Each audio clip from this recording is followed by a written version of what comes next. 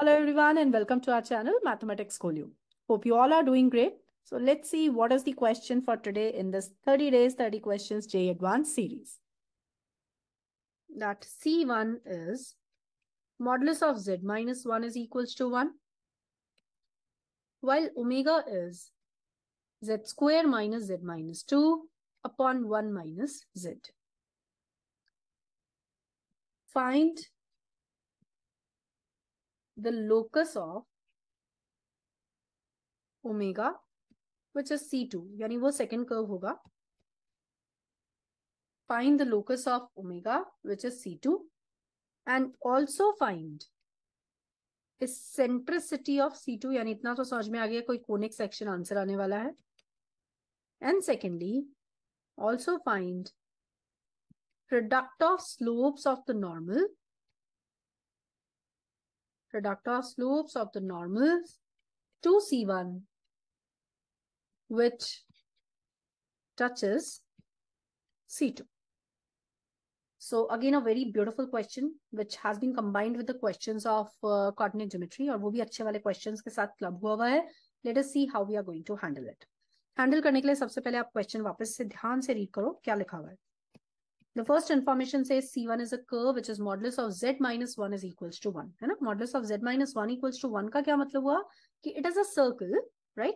It is a circle having the center at 0, comma, uh, 1, comma 0 and radius is also 1. Radius भी उसका 1 ठीक है दूसरी बात अब z minus 1 equals to 1 इसे तो मैं ट्रेस कर लूँगी इसका ट्रेसिंग ज्योमेट्रिकल इंटरप्रिटेशन इसका एज सच पॉसिबल नहीं है। मॉडल्स तो है नहीं आर्ग्यूमेंट भी नहीं लिखा है तो एक कॉम्प्लेक्स नंबर लिखा है जिसका लोकस निकालना है। एंड यूजली लोकस प्रॉब्लम में हम क्या यूज़ करते हैं? X plus iota y so when you come across question of locus you can use z is equal to x plus iota y and you can proceed but normally उन cases में भी मैं x plus iota Y थोड़ा सा avoid करती हूँ। Avoid करती हूँ, नहीं तो आप ये कह सकते हैं कि हम उसे कॉम्बिनेशन में यूज़ करते हैं। अभी कॉम्बिनेशन में यूज़ करने का क्या मतलब हुआ? तो मैं आपको बताती हूँ, मैं किस तरह से इसे यूज़ करूँगी। देखो, सबसे पहले the information that they have provided me as this one यानी I can take z minus one as e power iota theta तो z को मैं लिखूँगी one plus e power iota theta right इसे हम इस तरह से लिख सकते हैं।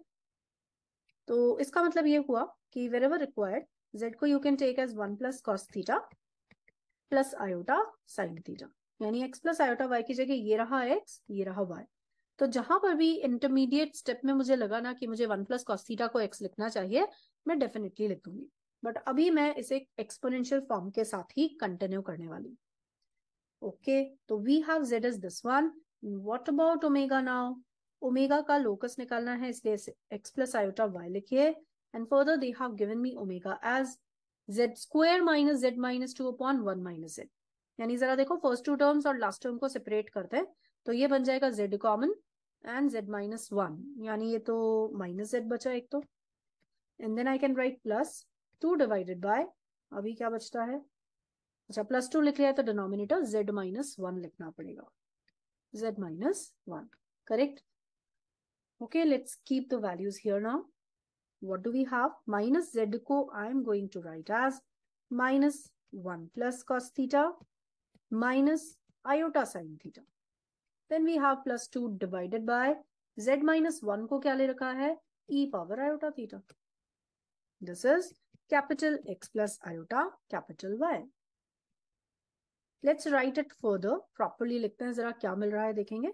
It is minus 1 minus cos theta minus iota sine theta plus 2 times cos theta minus iota sine theta. Clubbing all the terms together, we get minus 1 plus cos theta. And then we have total minus 2 iota. Sorry, not 2, total 3 iota. Hai na? 3 times we will be getting here. Minus 3 iota sine theta. Okay, so still I'm not feeling like keeping small x and small y here. I'm proceeding with sine theta cos theta only. Right? अभी क्या मिला capital x आपको मिलता है cos theta minus 1 Capital y मिलता है minus three sine theta See, theta is something which we have introduced in the question and your final answer should not contain it. Why? Because theta is not having a fixed value. ये तो कुछ भी value arbitrary हो सकता है तो locus में कभी भी आर्बिट्री अननोन कॉन्स्टेंट्स नहीं रहते हैं कैपिटल एक्स वाई से I don't have any problem क्योंकि लोकस में तो कैपिटल एक्स वाई होगा ही होगा है ना तो अब आपको लोकस निकालना है तो what you have to do in the next step is to try to get rid of this theta and it's very simple see sine theta cos theta मैंने हाईलाइट भी करके रख दिया है। So what you actually have to do is x plus one का whole square plus capital y square upon nine is one that's it this is the locus of omega omega का locus जब हमने find किया तो it turns out to be an ellipse ये एक ellipse आ चुका है। इस इलिप्स को अगर आप ट्रेस करते हो ना तो this will be having the centre minus one comma zero और ये जो होगा, ये थोड़ा वर्टिकल काइंड ऑफ़ इलिप्स होगा इस तरह का। क्यों? क्योंकि एक्स एक्सिस को ये इंटरसेक्ट करेगा एट द पॉइंट्स या फिर उसका डिस्टेंस जो होगा from the centre it will be one जबकि यहाँ पर डिस्टेंसेस थ्री आ रहे होंगे right so I can say that this is the locus of omega that we wanted to calculate now what I need to do is I need to find out its eccentricity कैसे निकालेंगे? So eccentricity e square is one minus b square upon a square so बड़ा वाला value ए होता है, छोटा वाला value one होता है। लिख लिया। This will be eight by nine implies eccentricity turns out to be root two तो two root two divided by three this is eccentricity that we have this was the first part of the question अभी second part भी है। यानी देखो first part खुद it बहुत अच्छा complex number का क्वेश्चन था। Now we are making further some more question on this one यानी जो लोकस मिला उससे लेकर, क्योंकि कोनिक सेक्शन आया है तो कोनिक सेक्शन इटसेल्फ आईटी का एक मेजर सेक्शन कॉन्स्टिट्यूट करता है। इसीलिए अब वो कोनिक सेक्शन का जो क्वेश्चन है, वो भी इंपॉर्टेंट है। और वो भी कौन सा क्वेश्चन है? कुछ कॉमन टेंजेंस का which is again I favourite part so overall कुल मिला के जो पूरा क्वेश्चन है ना this question is really important and beautiful यानी आप इसे रिवाइज करते हो तो इस क्वेश्चन के थ्रू बेसिकली आप बहुत सारे कॉन्सेप्ट को रिविजन कर रहे हो, है ना? सेकेंड पार्ट में इन्होंने मुझे कहा है कि आपको इलिप्स चाहिए एक तो, तो मैंने कहा ठीक है हम इलिप्स बना लेते हैं भाई। सेंटर उसका माइनस वन कॉमा ज़ीरो पे लेना है और it will be passing through zero comma zero जो एलिप्स मुझे मिलेगा वो ज़ीरो कॉमा ज़ीरो से पास हो रहा है। वर्टिकल एलिप्स है तो हमने वर्टिकल एलिप्स बना दिया। This is the vertical ellipse further circle also we have जो सर्कल हमें दिया गया उसका सेंटर वन कॉमा ज़ीरो है। सेंटर वन कॉमा ज़ीरो यानी ये रहा centre and the radius is one तो वो भी ओरिजिन से पास हो रहा है। ये रहा सर्कल एलिप्स बना दिया सर्कल बना दिया। ठीक है सर्कल एलिप्स बनाने के बाद अब क्या चाहिए? द क्वेश्चन सेज दैट हमारे पास जो क्वेश्चन है वो कुछ इस तरह है कि आपको क्या करना है भाई? Product of slopes of normal to C one C one का मतलब ये रहा सी टू का मतलब एलिप्स कोई भी नॉर्मल जो सर्कल पर ट्रेस किया जाएगा, वो हमेशा उसके सेंटर से पास होता है, right?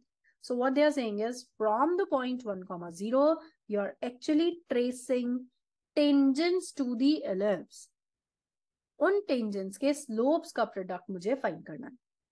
Product of slopes of normal to C one कह लो, या tangent to the C two हमें फाइंड करना है which has been traced from the point one comma zero so, okay, fine. I have this point. What i'm going to do, first of all, let me just show you कि हमें क्या चाहिए? हमें point zero का one से tangents चाहिए। एक tangent ये रहा। The second tangent is going to be this one इन दोनों टेंजेंट्स के स्लोप्स का product is going to be the answer to the question right तो अब क्या किया जाए? एक काम करते हैं।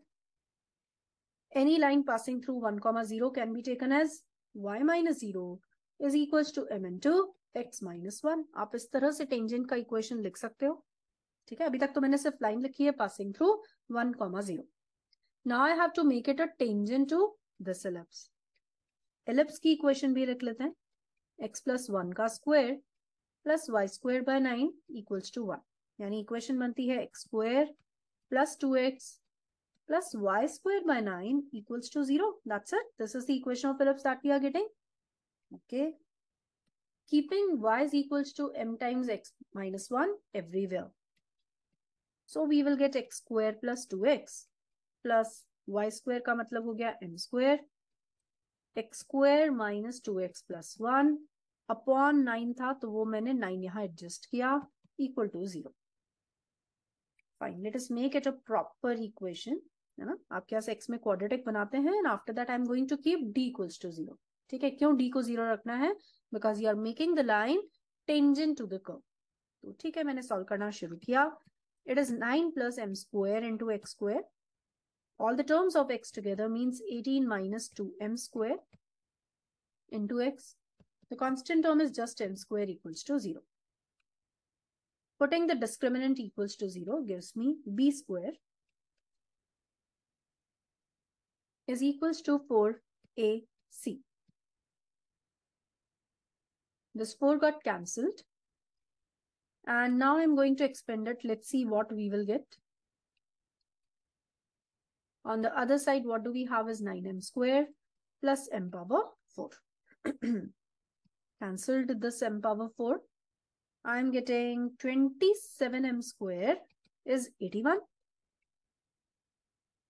Right? यानी m square कितना आ रहा है? It is 3. तो m कितना आ रहा है? प्लस माइनस रूट थ्री और अगर M plus minus root three आ रहा है if we are getting M is equal to plus minus root three then product of the slopes from the point minus one comma zero right from the point from the point one comma zero कितना आ जाएगा?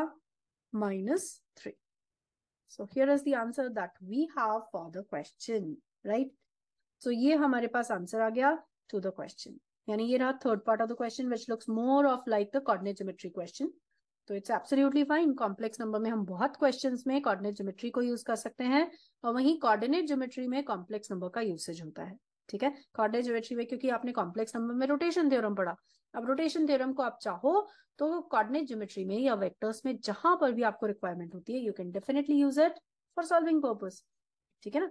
ऐसा नहीं है कि एक chapter में जो कॉन्सेप्ट पढ़ा आप दूसरे चैप्टर में नहीं यूज कर सकते both the chapters are in the syllabus use them anywhere wherever uh, you feel that it can be used right? So have a look at this question. A beautiful question. You can read it once again. You can see that how we are solving it.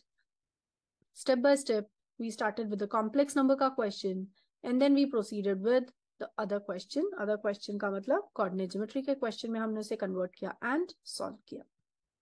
Right? Sorry, so I hope this question is clear to everyone. So please do not forget to hit the like button, share it with your friends and peers and do subscribe to our channel. Thank you for watching. See you in the next video with new question. Till then, take care and bye-bye.